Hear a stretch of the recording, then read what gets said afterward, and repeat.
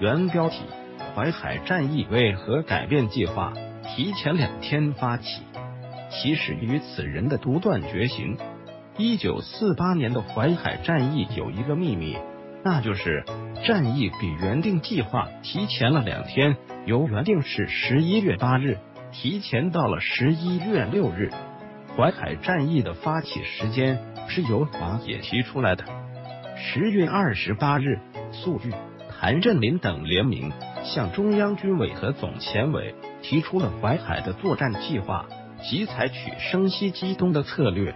在运河以东作战，目标歼灭黄百韬兵团；同时在运河以西作战，目标为敌李弥兵团南北夹击，造成攻略徐州的态势。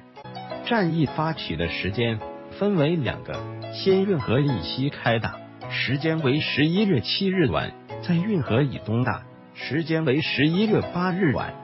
对此，十月三十日，中央军委复电。计划与部署甚好，望即照此执行。但是军委对于战役发起时间却提出分为两晚，不如一起同时开打，这样可使两处之敌同时受到攻击，不可救援，在两三天后才能查明我之主攻方向。于是粟裕决定淮海战役于十一月八日晚同时发起，展开全文不料。四天之后，确定战役时间的粟裕突然又改变计划，决定将战役发起的时间提前，并且提前于两次决定的时间之前，于十一月六日晚发起。这是为什么呢？如此大战为何要提早两天时间？原来蒋介石也在加紧准备徐蚌会战。十一月四日。国民党参谋总长顾祝同跑到徐州，具体部署徐蚌会战。会上，王柏涛、邱清泉、李弥、孙元良、冯治安都报告说，在自己防区当面发现解放军重兵集结，一致认为解放军主力将由鲁西南南下，而不会由徐州以东发动进攻。于是，顾祝同拍板决定放弃海州。连云港固守徐州，集结兵力于金浦路徐蚌一段进行攻势防御。竟是他的这个决策，使得伟大的淮海战役得以提前两天发动。结果，海州、连云港一带国民党军的行动很快就被划。野指挥机关侦知，粟裕判断敌军有集中兵力固守徐州，阻止解放军南下的倾向。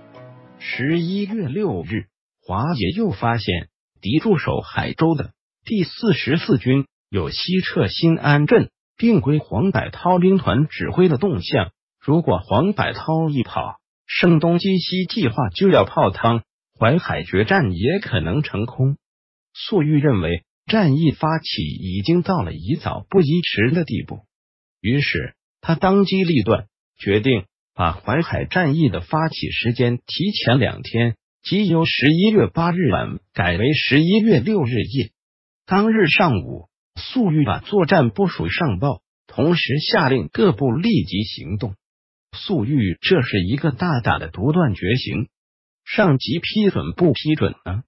第二天，十一月七日，中央军委复电粟裕，并指示完全同意六日。虚电所述攻击部署，望你们坚决执行。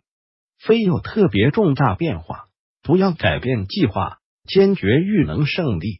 在此方针下，由你们机断专行，不要事事请示，但将战况及意见每日或每两日或每三日报告一次。中央的命令令粟裕大为感慨。后来他说。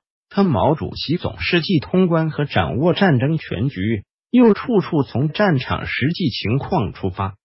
他十分重视战场指挥员的意见，给予应有的机动权和自主权，充分发挥战场指挥员的能动作用，把握军的高度集中统一和充分发挥战区指挥员的主观能动作用，最好的结合起来，是我军得以克敌制胜的一个重要原因。也是我军指挥关系的优良传统。